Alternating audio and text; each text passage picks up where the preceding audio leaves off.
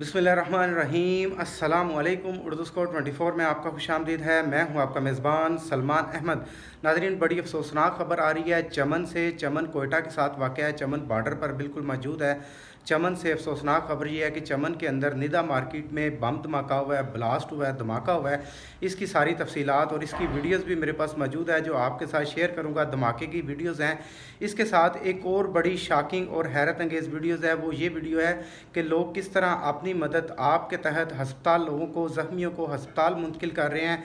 वो वीडियो भी आपके साथ शेयर करता हूँ। मज़ीद डिस्कस करने से पहले आपसे गुजारिश है, अगर आप हमारे इस चैनल पर नए हैं तो काइंडली हमारे इस चैनल को सब्सक्राइब करने के साथ साथ ये बेल आइकान ज़रूर प्रेस कर दें, ताकि ऐसी नई आने वाली मज़ीद वीडियोज़ के नोटिफिकेशन आपके पास हमेशा की तरह बर वक्त पहुँचते रहें। जित नाजरीन वीडियो स्क्रीन के ऊपर आपके साथ शेयर कर रहा हूँ, आप देख सकते हैं, ये पहले धमाके की वीडियो है। चमन के अंदर जो धमाका हुआ है, इसकी तफसीलात कुछ इस तरह हैं कि चमन के अंदर, निदा मार्केट के अंदर बहुत ज़्यादा रश वाला इलाका था, बहुत ज़्यादा रश वाला एरिया है जहाँ पर यह धमाका हुआ है।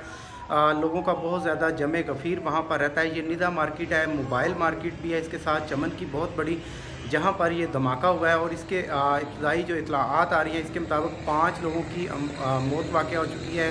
पाँच लोगों की डेथ वाक़ हो चुकी है। इसके साथ साथ दस से पंद्रह लोग जो हैं इंजर्ड हैं जिसमें काफ़ी लोग जो हैं वो तशवीशनाक हालत में बताए जा रहे हैं।